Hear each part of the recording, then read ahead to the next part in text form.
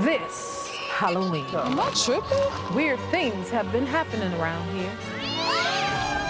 Terry Crews appears out of nowhere, and we summon spirits. It's the haunting of the Jennifer Hudson Show. I don't know if I like this. Monday at 2 on WBNX.